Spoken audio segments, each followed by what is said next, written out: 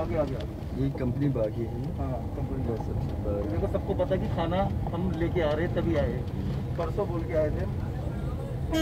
रोज ये खाने के लिए हमारे खाने के लिए ही बैठे हुए सारे। ये नहीं आना होगा वैसे आप बताइए जब से इक्कीस तारीख से हमने रोटी का शक्ल नहीं देखा जो कि इसी हाथ से रोटी बना के देने वाला आदमी।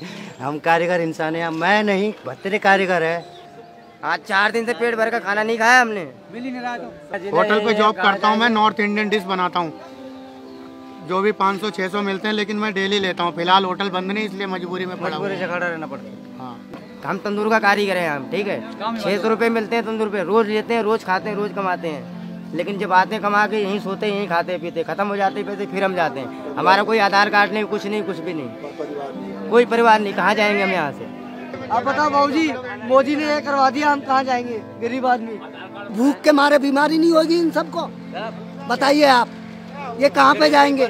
सब अलग अलग प्रांत के हैं ना इनको छत छुपाने की जगह बारिश आए तो ना सोने की जगह सब ऐसे ही हैं बेचारे और इधर पुलिस मारती है। इधर बैठो तो इधर से भगाते हैं बोलते हैं भाग जाओ। ट्रेन बंद है कहाँ भाग जाऊँ? घर जाने की व्यवस्था है नहीं है। बॉर्डर सब सील है।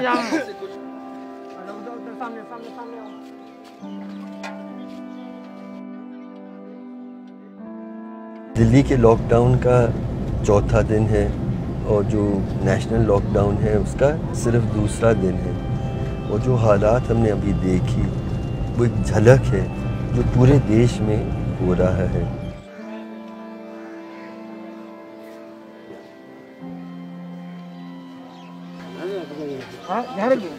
ये थो, थोड़ा सा गर्म कम हो जाए।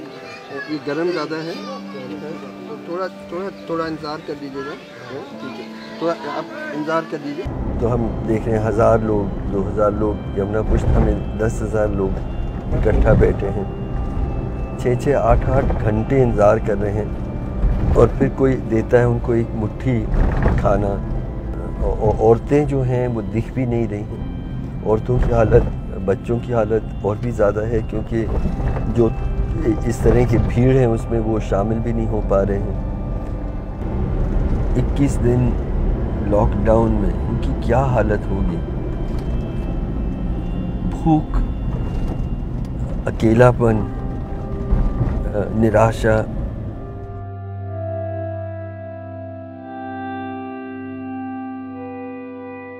कोरोना वायरस बड़ा रोग है, लेकिन उससे बहुत बड़ा रोग है गरीबी और भूख। उन देशों में आप ये लॉकडाउन कर सकते हैं जहाँ पे लोगों के पास घर है सामाजिक सुरक्षा है और ऐसी नौकरी है जहाँ उन्हें वेतन मिलता रहेगा। अ, लेकिन हमारे देश में जहाँ नौ में से दस मजदूर संगठित हैं जिनका नौ, नौकरी की कोई सुरक्षा नहीं है उनकी क्या हालत है ये तो हम कल्पना करना भी दूर है। यहाँ होटल के कारीगर बर्तन धोने वाले साफ़ सफ़ाई वाले हर कोई मिलता है यहाँ। अच्छा अच्छा कुक भी मिलता है यहाँ पे अच्छा कुक खाना बनाने वाला। रैन बसेरे में जगह नहीं है। ना बोलता है जो जितने हैं उतने ही हैं बोल रहे हैं अब आके आदमी नहीं घुसने देंगे। मारते हैं डंडों और दाल और चावल आते हैं इतने वो किसी को नहीं मिलते बाहर वाले को मिलते। ही नहीं है। जो अंदर हैं उन्हीं को मिलते हैं वो भी थोड़े थोड़े हम लोग बिहार से आ रहे थे। नई दिल्ली में गाड़ी रद्द हो गया।